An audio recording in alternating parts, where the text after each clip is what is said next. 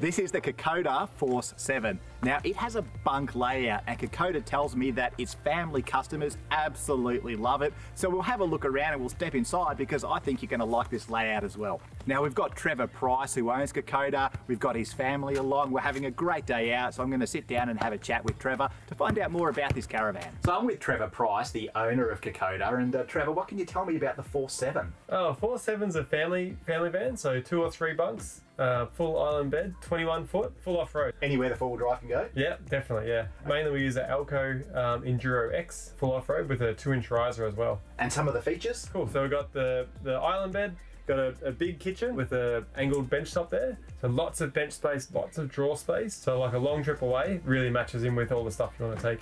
I really, really like the angled kitchen because it makes such good use of the available space. It gives you more bench space. You've got the full oven, the cooktop, the griller, and just loads of storage as well. Especially the good thing is with the angled space is the, the deep part at the back. Really good for a coffee machine and stuff like that.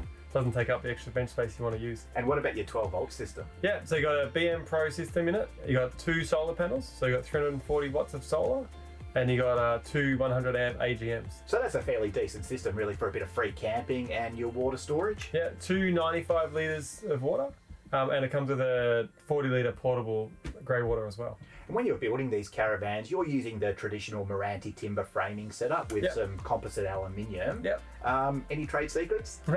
Uh, uh, no, we just we just do things tried and true. So things that are gonna make sure are gonna last. Um, we do a lot of sealing to make sure it's all sealed really well. One thing I like about this layout, Trevor, is just how balanced it feels. There's room for the kids at the back, room for the parents up the front, but we're sitting here now and we're quite comfortable. Yeah, it's really good space. 21 foot, so it's, it's not a huge van, but it feels big inside.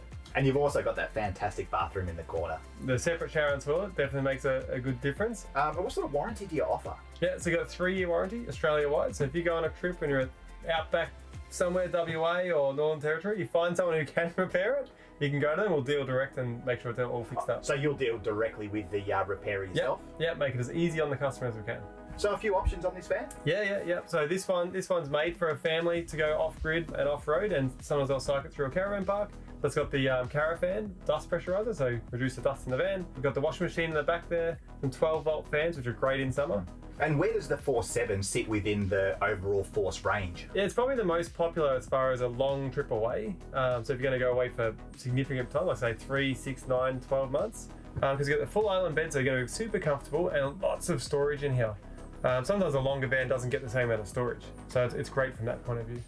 So you get all that internal living space in an overall package that can go almost anywhere the four-wheel drive Yeah. can go. It can sort of get through those tight tracks Yeah. and that sort of thing. So you're not really restricted in where you're going to go, but you still have this generous living space. Yeah, that's right. Even coming up here, we had to do that U-turn and Yeah. no problems at all. Good on you, Trevor. Appreciate the chat. Yeah, no worries.